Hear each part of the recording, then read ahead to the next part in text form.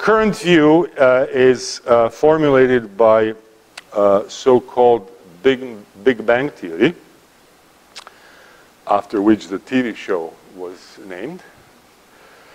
Um, it's interesting. I didn't. I don't watch it really, uh, but what I've heard, little clips here and there, their science is impeccable and very current. So, excellent job. Uh, but not all scientists are nerds. Um, so basically, according to this uh, Big Bang theory, uh, the universe, including space and time, was created in one giant explosion. And the universe and space and time have been expanding ever since. So it's important to realize that as we've talked before when uh, we discussed uh, the Hubble's law. It's not that the explosion occurred in a pre-existing space, as if I would have a firecracker here going off, right, in pre-existing space. No. What is happening, actually the space itself was created, space and time, space-time, were created at that moment, and the space or space-time itself is expanding. So as we discussed before, this certainly is um, consistent with uh, the Hubble's law, which results from uh, observation. And then we can pose the question, okay, can we use the Hubble's law to estimate the age of the universe, right? To calculate the time since the Big Bang. That time obtained from the Hubble's law is often referred to as the Hubble's time. So the argument goes like this. At time zero, just soon after the Big Bang, where everything was much closer, two galaxies were much closer to each other, and now they are separated by some distance uh, d, right? So after the Hubble's time, the two galaxies that were just sitting on top of each other are separated by a distance, uh, by the distance d. And say this is our Milky Way, and we see another galaxy at a distance d receding from us with certain recession velocity v that we can determine from the redshift of its light. So on one hand, the Hubble's law tells us that that distance is related to uh, uh, the recession speed in this way, right? That the recession speed is the Hubble's constant times the distance. On the other hand, if uh, this other galaxy was moving with speed v for this time, the Hubble's time, the distance it covered is simply going to be the product between uh, the recession speed and the elapsed time. So we can actually uh, uh, uh put this here, result for the recession speed in the above equation to get this, divide out the distance, and get that the time since the Big Bang according to the Hubble's law, is 1 over the Hubble's constant. Okay? So remember that 1 over the Hubble's constant will give you an estimate for um, the age of the universe from the Big Bang until now. And we know uh, the, uh, what the um, value, uh, the current value of the Hubble's constant is. It's uh, 70 kilometers per second per megaparsec. And when you do the calculation, you uh, end up with the Hubble time of about 14 billion years, which is actually quite close. I mean, there are certain corrections that have to be done to this simple estimate, but the result that you get is actually quite close to uh, the actual value. So our universe is just under 14 billion years old. That much time has elapsed uh, uh, from the Big Bang. Okay, so what evidence do we have that indeed such an explosion uh, occurred? And the scientific argument points us uh, in a particular direction.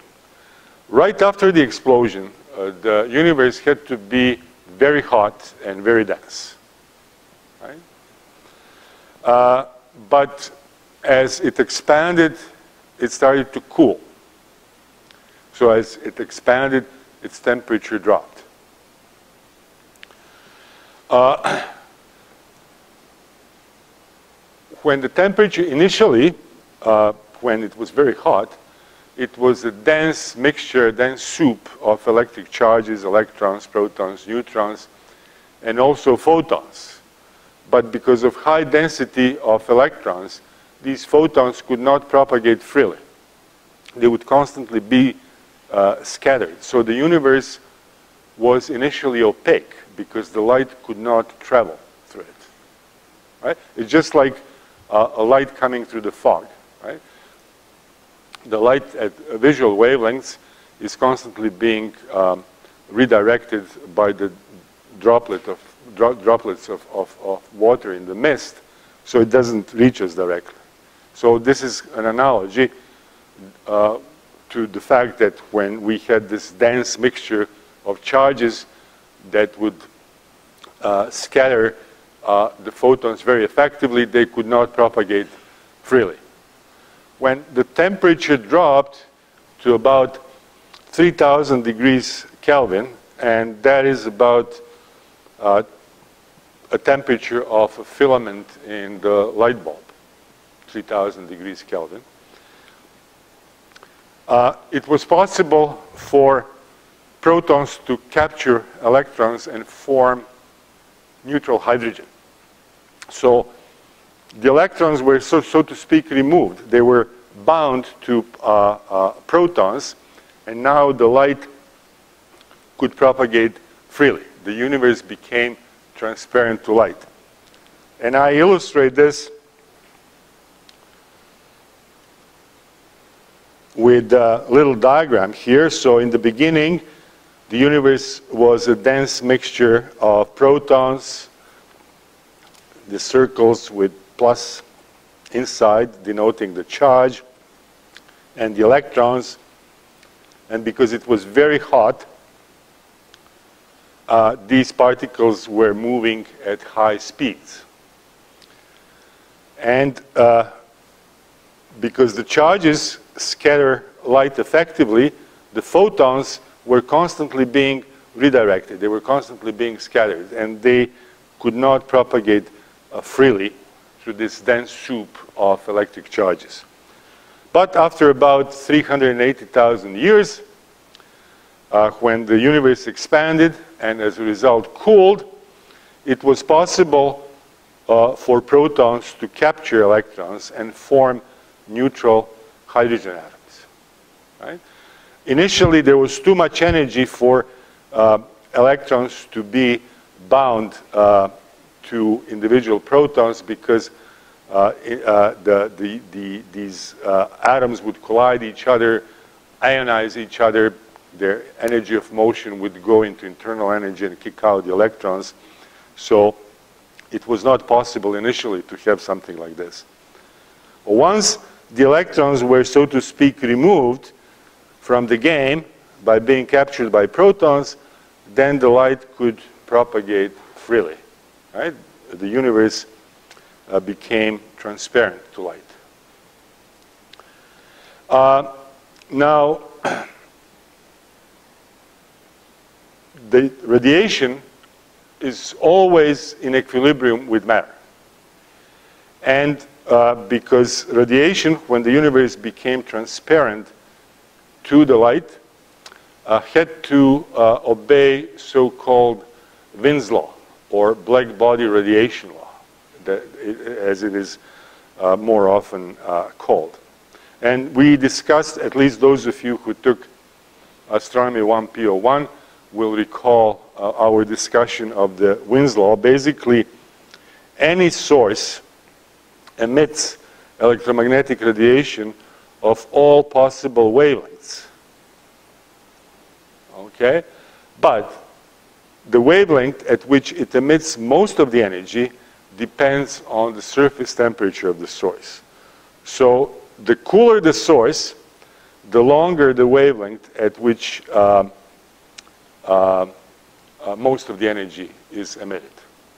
And the Wien's law tells us that this wavelength at which most of the energy is, is emitted can be obtained in nanometers by dividing this constant here, which is uh, 3 million, with temperature in uh, degrees Kelvin. Or alternatively, if we measure the wavelength at which we detect the highest intensity of radiation, we can determine the surface temperature of the source by uh, dividing this constant with uh, the wavelength at which most of the energy is emitted. Okay? So when uh, the temperature was 3000 degrees Kelvin, I would have to divide uh, uh, 3 uh, million with 3000, I get 1000 nanometers. 1000 nanometers is uh, how much? So we get about a millimeter, right? And that corresponds to microwave range of radiation. Okay? So uh, for 3000 we get uh, 1000 uh, nanometers, right? So one nanometer is 10 to the minus uh, 9 meters. But because of the gravitational redshift caused by the expansion of the universe, that wavelength that corresponded to 3000 uh, degrees Kelvin has now increased because the universe has expanded. So if uh, it expanded as it did 1,000 times, that wavelength now should be uh, 10 to the 6 nanometers. Okay? So once again, um, when the temperature dropped to 3000 degrees, the wavelength at the maximum of radiation was 1000 nanometers at that time. But since then, uh, the universe expanded 1,000 times. And as a result of cosmological uh, redshift, due to that expansion of space, this wavelength corresponding to maximum had to increase by a factor of 1,000. So 1,000 times 1,000 is 10 to the 6 nanometers. So now that wavelength should be 10 to the 6 nanometers, which is 10 to the minus 3 meters. That is 1 millimeter. And a wavelength of 1 millimeter corresponds to um, microwaves. Uh, by the same token, uh, if I now put in here uh, the wavelength uh, corresponding to the maximum now, uh, because the wavelength has gone up by a factor of 1,000, the temperature now should be 1,000 times smaller. That is, it should be 3 degrees.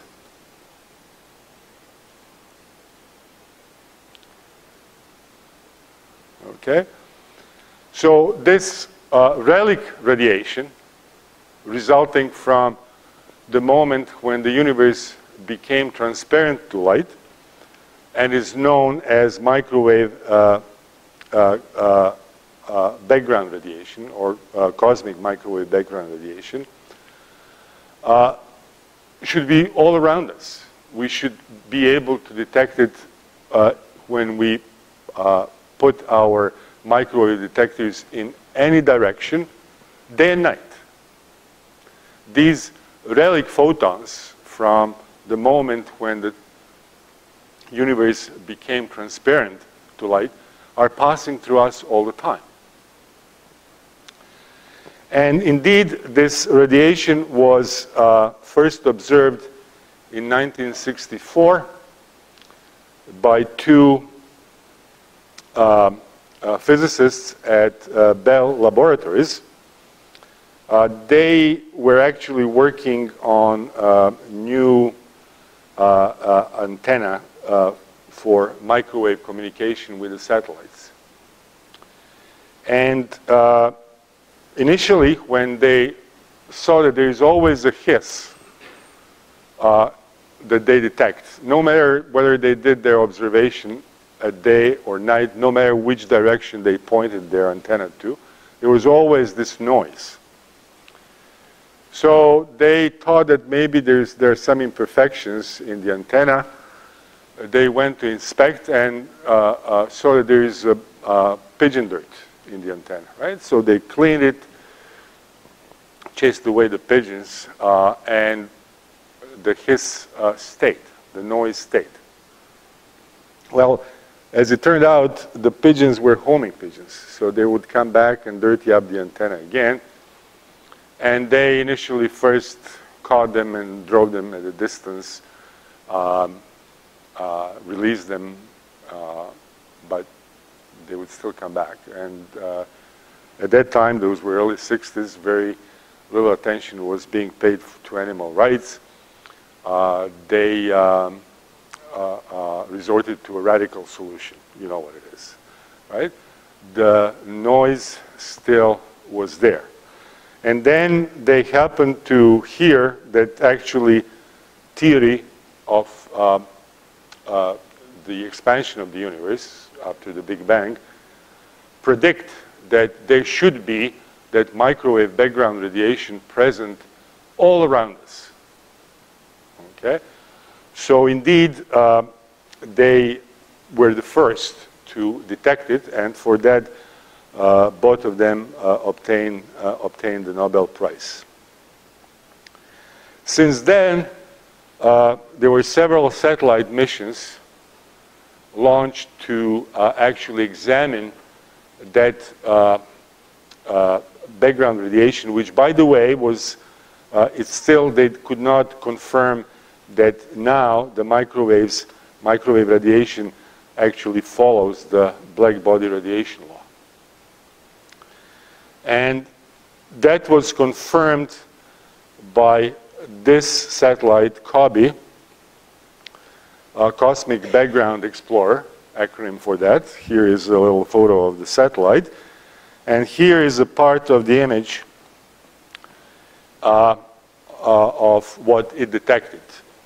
So basically, COBE found that, that this radiation is uniform to a great degree, and indeed, it follows the law of uh, black body radiation, that is the Wien's law.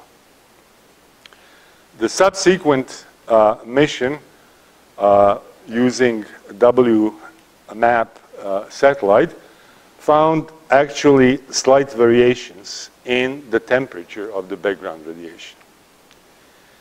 And uh, the most recent one that was launched and the results are still being analyzed and collected, Planck, uh, uh, uh, uh launched by European uh, Space Agency, it even had a better resolution of the background. So you see that the uh, microwave background radiation uh, does not correspond everywhere to the same temperature. Here uh, are the data obtained with WMAP.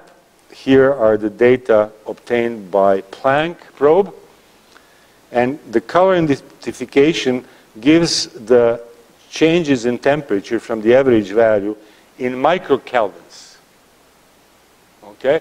So they are tiny compared to about 3 kelvins which is the overall temperature of uh, uh, background radiation, but there are still some fluctuations. Those that are bluish are slightly colder, those that are reddish are slightly warmer. Right? And there are different reasons why uh, these non-uniformities in temperature could have arisen. One possibility is that initially uh, uh, just after a fraction of the second after the Big Bang. Uh, the laws of quantum mechanics tell us that there have to be spontaneous fluctuations in uh, uh, the uh, number of particles, the density, and over time, these small fluctuations got blown up by the expansion. So now we perhaps see the relics of these quantum fluctuations in the very early universe.